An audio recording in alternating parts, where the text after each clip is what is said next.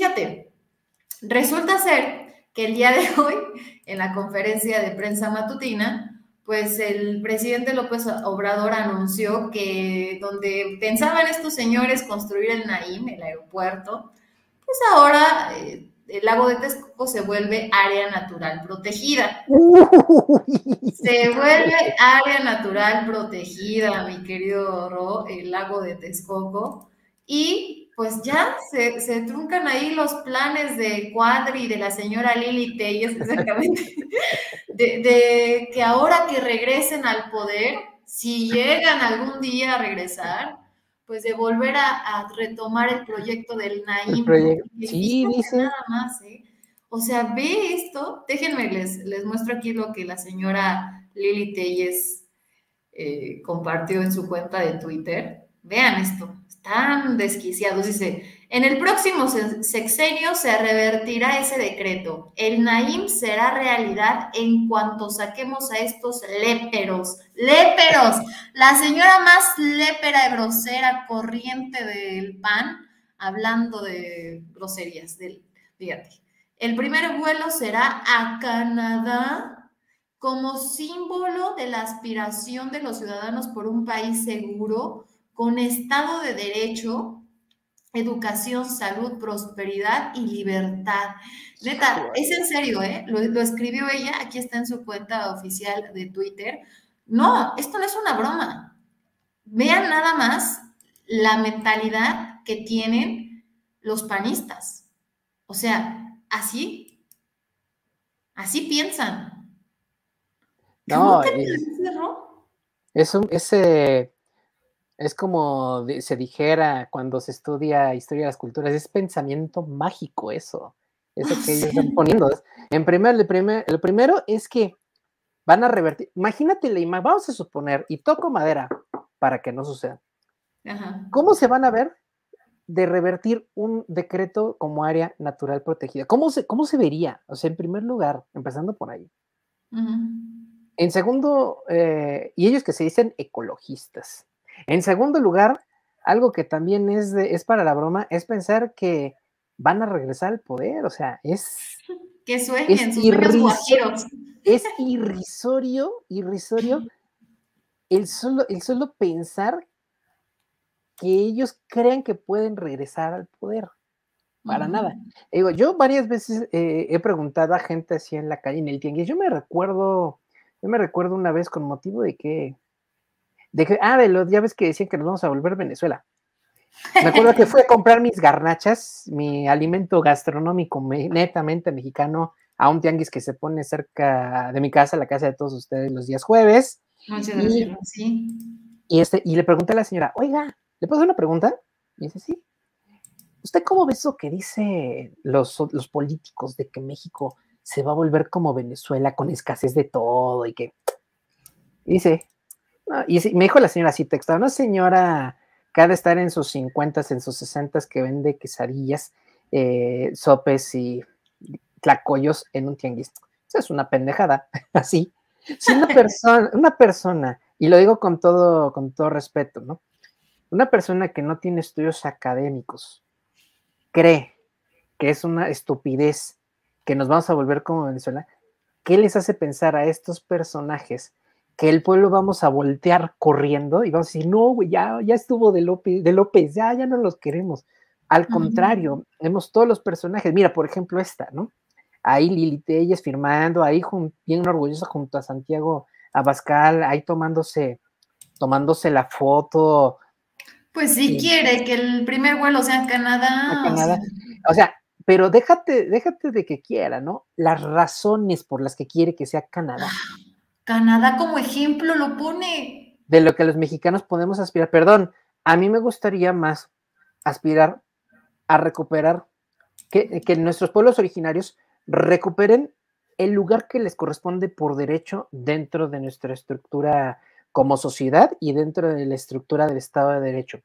¿Por qué? Porque ¿quiénes son los verdaderos dueños de esta patria? Los pueblos originarios. Nosotros somos mestizos.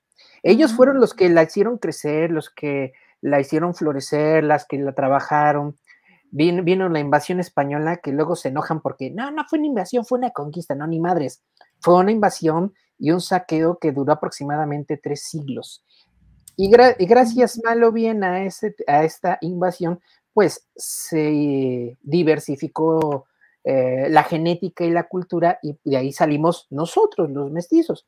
Para mí, a lo que deberías de aspirar es a que nuestros pueblos originarios recuperen el lugar que por derecho les corresponde. No como un favor que les conceda la Constitución, sino como un derecho, un derecho cultural, un derecho de, vida, de vida digna. ¿Por qué? Porque a mí me ha tocado ir varias veces a zonas indígenas, de esas que están enclavadas en medio de la nada, y, este, y la gente vive completamente aislada de la, de, recursos urbanos, no de la mancha urbana, no del, no, alejado de, recursos urbanos como pueden ser algo tan elemental como la energía eléctrica, como puede ser el agua potable, como puede ser el drenaje, como puede ser eh, tener calles medianamente eh, pavimentadas. Me ha tocado verlo de primera, de primera mano, caminar como ellos, vivir un rato como ellos, comer como ellos, estar expuestos a las inclemencias sobre todo del clima, eh, como ellos, a la barrera del lenguaje también, o sea, me tocó verlo de frente, cara a cara. Así que eso es a lo que a mí me gustaría que se aspirara en un futuro, no a vuelos a Canadá para que, ah, mire qué chingones son los canadienses, yo quiero ser como los canadienses. No, de verdad. Oye, si ella se quiere ir a Canadá, pues que ya se vaya, ¿no? Que se vaya, que renuncie, que, renuncie ahí al Senado y que regrese la curul que se robó a su suplente que, es de Morena, porque esa, esa curul le pertenece a Morena. Los sonorenses votaron por Morena, no votaron por, e, no votaron por ella. Es más, votaron por López Obrador a través de ella también. o sea, ella se robó eh, la curul. Si quiere, quiere, irse a Canadá, pues va, no hay bronca, que le llegue, que agarre sus tiliches y todo, y ya, si ella quiere ser como los canadienses, mira, que sea como los, que sea como los canadienses, porque pues, todos hemos visto los desplantes que ha tenido últimamente, por ejemplo, eso que tuvo, eh, eso que hizo en el, que hizo, que hizo en el Senado, híjole, de poner, de que le pide una pregunta a una legisladora de, del PRI. sí, y, era, es que eh, es una pregunta, en redes se ha dicho, ah, es que una legisladora del PRI, entonces pues no hay bronca. No, sí hay bronca, porque la señora eh, pidió la oportunidad de hacerle una, una pregunta a la, a la senadora Claudia Anaya, que por cierto es una persona con discapacidad, una discapacidad motriz. Entonces le hace una, pide, le pone una pregunta, sí, ¿cómo no? Y de repente pone como un sonido de un borrego, ¿no? Y entonces fíjate que hoy estaba echándome mi, eh, está echándome mi, baño de este, pues ya, ya sabes de qué, porque tenemos que ver un poco de todo. Y resulta que en un programa, en un, programa de medio digital, ella dijo que el sonido donde aparece un, que, puso en el Senado, es el propio presidente López Obrador, este, grabado, cuando él hecho como borrego para simular a los que, eh, a los que se alquilan así como que se, se presentan como, como borregos, ¿no? Así, o sea, hasta, hasta de eso se, anda, se anda burlando la señora. Entonces, híjoles, es lamentable, la verdad, lamentable. Además, que dicho sea de paso, no me la sabía, pero precisamente buscando a, pues, los comentarios de la oposición y esos medios sobre eh, lo que sucedió en, el aeropuerto de, Felipe Ángeles, pues resulta que Lili Telles ya trabaja con Carlos Alasraqui. Ah, mira. Sí, Sí, ya trabaja, ya trabaja y se llevó con ella a Xochil Galvez y a Kenia López Rabadán y tienen bueno, pues apenas las tres se juntan. En el programa ya tiene un espacio los, eh, los días, este, creo que es, los lunes, me parece. Ella es la que conduce y le hacen segunda la señora Galvez y la señora López Rabadán. O sea, hasta, o sea, les paga uno por legislar y ellas se dan el tiempo de ir a grabar eh, programas, programitas golpistas y de lo que tú quieras sin, ningún, sin ningún tipo de límite, o sea, bien, fregonas las, las señoras. ¿Cómo ves?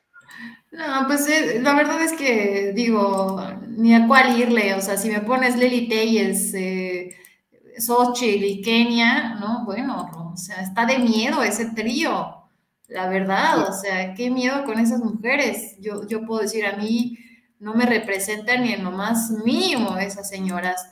Yo, se sienten los ciudadanos que se van al PAN, que son de Acción Nacional representadas por ellas, pues bueno, a mí no me representan. A mí la verdad es que yo digo, qué barbaridad, como una mujer puede prestarse para hacer este tipo de groserías, en el caso de Lili Telles, ¿no? A otra mujer, a otra mujer se lo hizo y además con, con una discapacidad.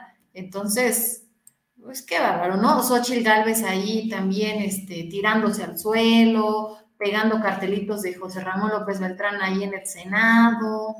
No, bueno, es de verdad lamentable.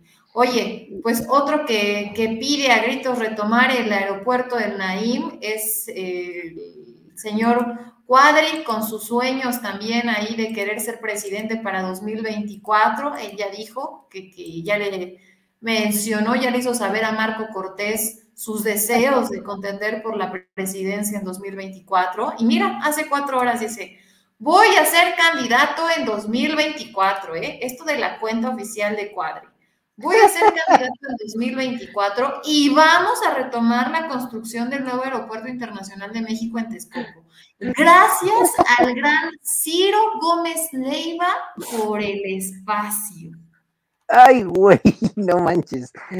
Así, oye, Oye, Ciro, eh, Ciro Gómez Leiva queriéndose reivindicar eh, con el pueblo, ¿no? A lo mejor con el gobierno, si tú quieres por ejemplo, con la participación de Pigmeni Barry en uno de esos espacios, y luego pones aquí a Gabriel Cuadri, gracias, el gran Ciro Gómez le iba por el espacio. No, hombre, qué quemadón.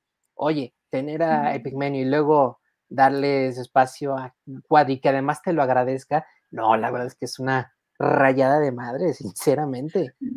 Eh, yo no sé cómo no les da penita tener a estos, tener a estos, a estos personajes.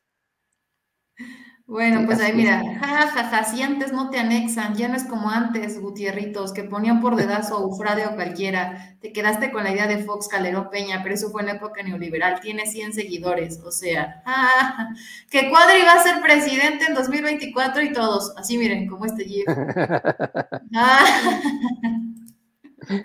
no, no, no, pues que continúe ahí el, este, misógino. No, yo creo que eh, eh, Cuadri va a terminar, y lo digo con todo respeto para los conductores de transporte público. Digo, si tiene experiencia manejando combis, pues que ya le vaya pensando en a qué paradero se iba a ir a trabajar, porque tarde o temprano se van a dar cuenta del fraude que es y que más que un acierto es un lastre. Y, no dudes que podría terminar trabajando en algo pues, que él desprecia, ¿no? Porque sabemos que el tipo es un racista de lo peor, es un clasista. Fue el que dijo, querido auditorio, quería hacer sin que si Oaxaca, Guerrero y Chiapas no pertenecían a México, seríamos potencia, potencia No, Dice, esta bestia marihuana que saque de lo que fuma porque está muy ti. Se pasó de bestia.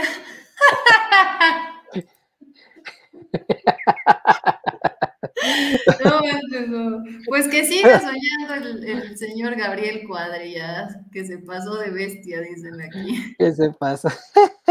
no, no es, que es increíble que estos, que estos personajes puedan creer la sola posibilidad de que pueda ser, eh, puedan regresar. Ahora, Cuadri, candidato, oye, si ya fue un suicidio político dejar a Marco Cortés como presidente de Acción Nacional. O sea, imagínate, Marco Cortés de presidente y Cuadri de candidato, no manches, pierden el registro, déjate la elección, pierden el registro. Sí, sí. Y, miren, el PRD va que vuela para perderlo, el siguiente es el PAN, ¿no? Sí, sí, sí. Este, o sea, la neta, ya, bueno, mira, vamos a dejarlo soñar. Te digo que ni siquiera es eh, análisis, analizar a la oposición, es realmente nada más eh, reírnos. Es,